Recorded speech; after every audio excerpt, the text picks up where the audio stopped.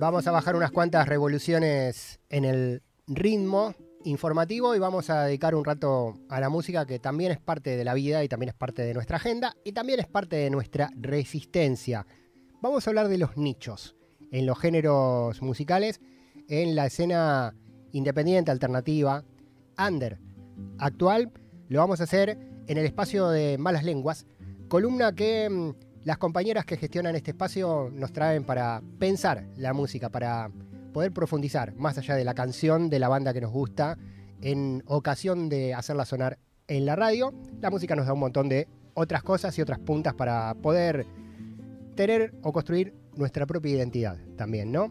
Hoy está Sabrina Vilches Argüello con nosotros en la columna Malas Lenguas en la Patria de las Moscas. Hola Sabri, ¿cómo estás? Hola, un gusto saludarlos como todos, casi todos los viernes. Muy bien. Eh, sí, em, la propuesta de hoy era quizá ayudarnos a pensar un poco la forma en la que consumimos música hoy, ¿no? Y cómo eso termina repercutiendo en eh, la moda, por decirlo de alguna forma, en la viralización de ciertos tipos de música por sobre otra, qué pasa con esa otra música. Así que, mm, bueno, como para empezar como disparador, lo que yo había, lo que me había llamado la atención en este último tiempo leyendo era una nota que se publicó en Caja Negra, de un periodista argentino, que reflexionaba acerca de esto de la cuestión de los algoritmos en las redes, ¿no? Porque en general, si nosotros queremos escuchar música hoy en nuestras casas o en, un viaje, en el colectivo, lo que sea, por fuera de que tengamos quizá un disco todavía remanente en nuestras casas, en general vamos a estar escuchando a través de alguna plataforma, ya sea Spotify, ya sea YouTube. Em, como que ya incluso quedó atrás el tiempo en el que se descargaba la música y la teníamos alojada en los dispositivos, en el MP3, en el celu. Entonces, hoy en día gran parte del consumo musical se da a través de Spotify, de YouTube, y son plataformas o redes que tienen su propio funcionamiento interno, o sea, los famosos algoritmos, ¿no? Y analizando un poco cómo funcionan, se está empezando a descubrir que todavía no se sabe, todavía no se ha, eh, no ha salido a la luz si esto es de manera intencional o no, pero que quizá la consecuencia de estos algoritmos es que hoy en día todo el contenido que se sube a, Spotify, por decir algo, por mes a mes, que todos los artistas de todo el mundo suben, en general tienen más posibilidades de ser escuchados por más gente, porque les aparece como recomendación a más usuarios o porque incluso lo, reproducen de manera automática, es el contenido que es más genérico, por decirlo de alguna forma. Es decir, que se parece más a un determinado género o que incluso entra de lleno en un determinado género. Pongamos, por, por ejemplo, el género del trap. Si hay un artista que es quizá variado su producción y hace un disco trap y después hace un disco más folclórico, por decir algo, y quizás uno más experimental, bueno, todo eso entra dentro de lo más experimental o lo mixto, ¿sí? o sea, toda la música que conocemos que incluso mezcla géneros o influencias, eso es mucho menos probable que los algoritmos lo terminen recomendando. ¿Por qué? Porque no es tan fácil de encasillar. Mm. Y porque a la vez a los algoritmos y a las plataformas les sirve muchísimo más que los usuarios que consumimos, yo en mi Spotify, tengamos perfiles marcados. Es mucho más fácil es más encasillable y es más fácil de vender. Entonces, eh, lo que termina pasando con eso es que se terminan reforzando ciertos tipos de, música que son más genéricas y otras no, ¿no? Y bueno, eso pasa en todo, en toda la industria musical, con todo lo que se sube hoy en día a estas plataformas. Lo que vemos es que eso termina generando determinados movimientos de, de vuelta de géneros que quizá no estaban tan presentes hace un tiempo. Y hoy en día viendo, como decías vos, en la escena alternativa, sobre todo de Buenos Aires, se está viendo una vuelta a ciertos géneros que terminan por este tipo de algoritmos y por otras cosas, transformándose en nichos que son muy marcados. Como que quizá dentro de una escena que es bastante heterogénea, se terminan formando grupos de pertenencia bastante marcados. Y si vos hoy, por ejemplo, frecuentas a lo largo de un año 15 o 20 eh, distintos centros o centros culturales o espacios de música under, es muy probable que termines viendo repetidas veces varios de estos nichos. Así que bueno, vamos a traerlos para, compartir cuáles son. Bien, es, interesante, Sabri. Em, igual, no sé, me, preocupo un poco, me siento un poco despojado, pues yo dije al principio de, la charla que estamos teniendo que la música nos ayuda a construir nuestra propia identidad y siento con toda esta lógica del algoritmo que hay alguien más allá que quiere construir mi identidad, ¿no? Que, me muestra lo que yo tengo que escuchar a partir de lo que yo fui escuchando o hasta de los lugares que fui visitando, ¿no? Eh, bueno, de todas maneras, también uno piensa en lo que pasaba tiempo atrás antes de, esta proliferación de, de, redes y algoritmos y la que te imponía era la radio, ¿no? La radio comercial que te giraba las canciones pagas por lista repetidamente, para que vos las consumas. Bueno, eh, la lógica es distinta, pero es igual, ¿no? Me parece que hay alguien más allá que nos dice qué escuchar. Sí, tal cual. Y que se. O sea, lo que tienen las redes, que también incluso se lleva al análisis político en otro plano, pero a través del algoritmo mismo, es decir, que el algoritmo termina radicalizando, o sea, generando puestos, eh, puntos opuestos. Bueno, acá terminan pasando desde lo cultural, en vez de generar como visiones eh, opuestas, lo que termina generando sí son nichos bastante marcados. Pero la parte positiva de todo esto eh, es que yo sí creo que, como vos decís, la manera de poder como autodeterminar la identidad y tomar quizá más decisión sobre lo que uno consume es hoy dentro de toda la oferta cultural que hay en el under, porque, y justo más, más adelante les voy a contar algunos ejemplos en los que esto se ve de manera bastante marcada. Em, porque bueno, en el under se juegan cuestiones que tienen que ver mucho más con el poner el cuerpo, con la presencia y con el ir a escuchar cosas que quizá vos no esperabas escuchar, ¿no? vas a ver una banda que te gusta porque la conociste, quizá a través de una de las plataformas, pero en esa misma fecha escuchaste otras dos bandas de las cuales no tenías idea y así se empieza a generar un boca en boca que en la escena del under realmente es muy muy fuerte eh, y que puede generar que artistas que en las plataformas no les vaya particularmente bien porque no consigan esa audiencia, sin embargo te puedan llenar recintos bastante importantes, tanto en capital como en la provincia, por una cuestión más del boca en boca y más de, la vieja usanza de la música. Claro, eso sigue existiendo. ¿eh? Yo conozco bandas que en las redes no les va tan bien, pero te meten 800 personas en el auditorio este o en algún lugar de la zona sur o de la zona norte. Y conozco bandas que tienen miles y miles y miles y miles de seguidores en las redes, pero después eh, su convocatoria flaquea bastante. Sí, no se materializa. Em, pero bueno, lo que pasa dentro de la escena alternativa, como en general, es como que es algo más extendido en el sentido de que se sabe que vos, como sobre todo las, las personas que vamos a escuchar, los oyentes o los que vamos, los consumidores, por decirlo de alguna forma, sabemos que en realidad la apuesta que se hace para apoyar a un artista es yendo, comprando una entrada y bancando en persona, ¿no? Como que ni siquiera se le pone tanto énfasis ni del lado del artista ni del lado del consumidor a que ese contenido en, en Spotify o en YouTube le vaya particularmente bien. Es como que incluso se piensa la música desde el vivo y después que, bueno, que quede subido en alguna red para que alguien más lo pueda escuchar, pero el foco siempre es el show en vivo, donde puedes conectar con una persona, donde el público ve quién sos, qué decís también al respecto de tu música. Em, así que bueno, adentrándonos dentro de lo que son hoy en día los shows de Lander, ¿qué, qué vos te qué es lo más probable que te encuentres si vas a distintos tipos de shows, tanto en el conurbano como en capital? Hay cuatro nichos bastante marcados que también casualidad o no, causalidad, eh, son los que están teniendo también más eh, auge y más, eh, están siendo como más fogoneados desde los algoritmos de las plataformas.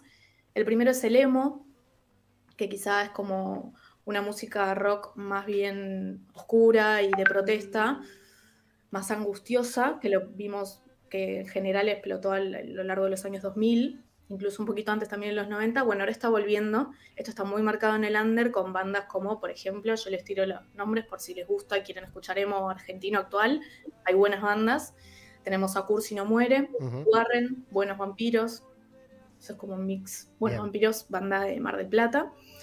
Después tenemos eh, la escena shoegaze, que a nivel mundial tuvo como un regreso, en la pospandemia y también durante la pandemia, el shoegaze es un género bastante nerd, por decirlo de alguna forma, en el que se, centra más que nada en la experimentación con pedales de guitarras.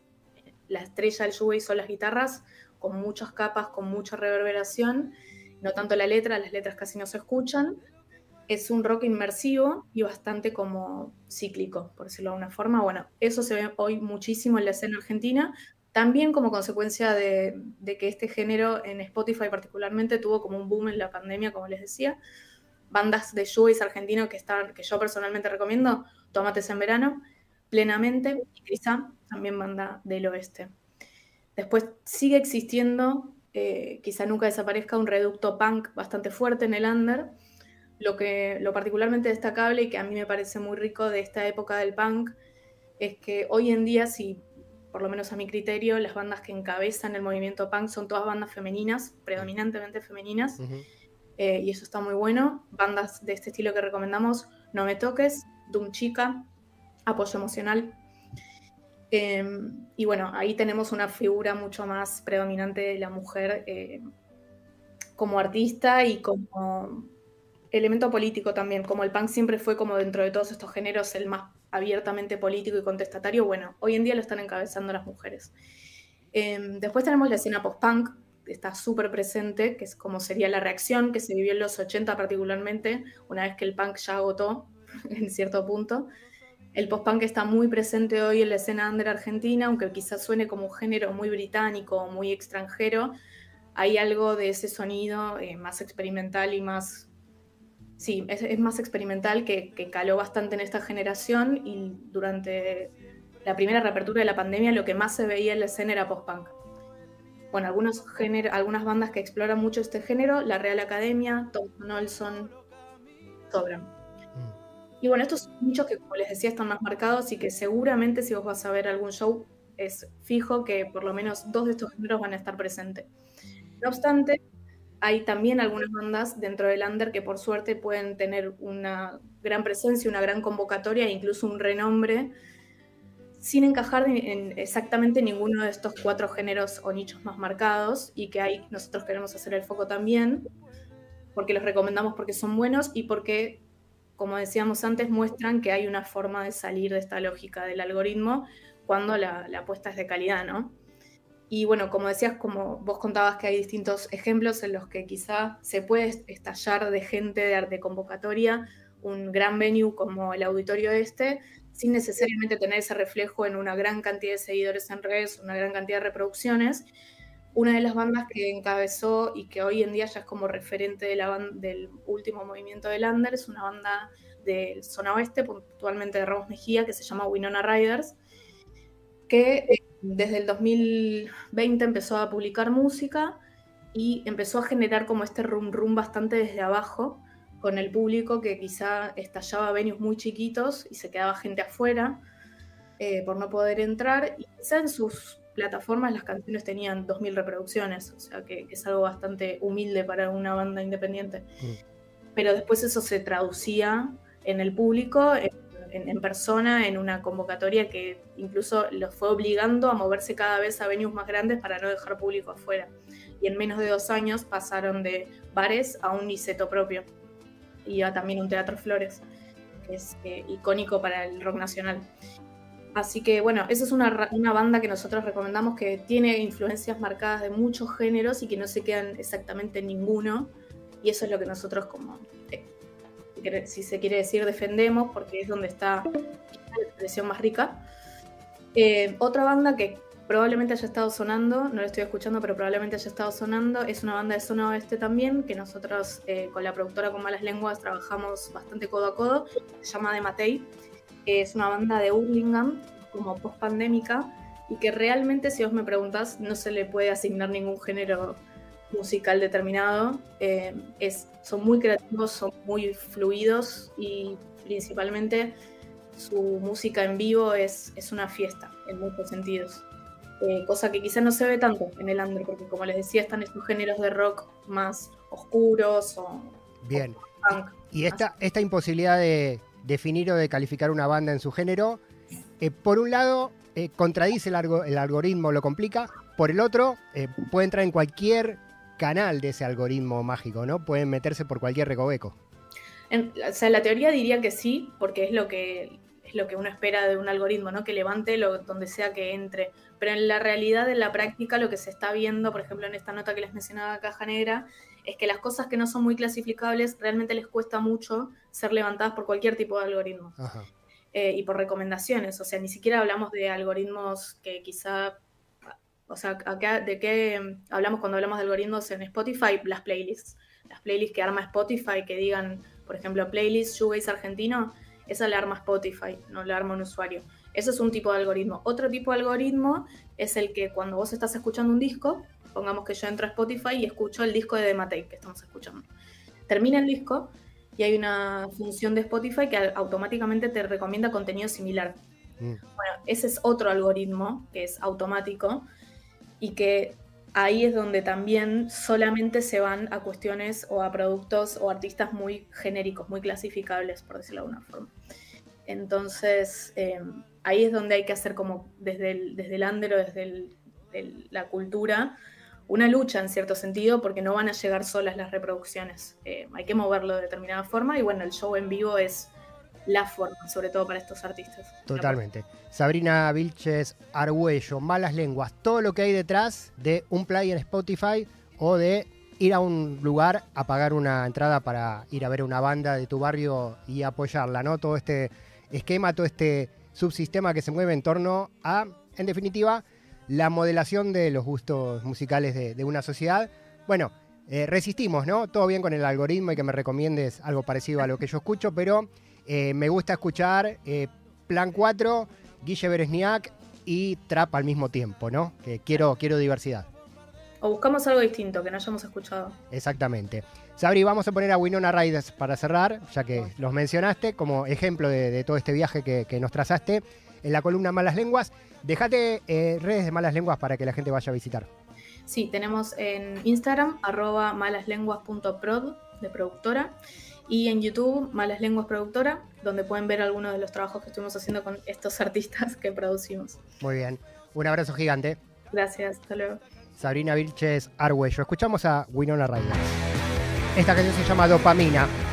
Contra el algoritmo. El algoritmo está en la calle, no en el boca en boca, y está en la radio. También está en las radios de la cadena de comunicación y cultura Cruce.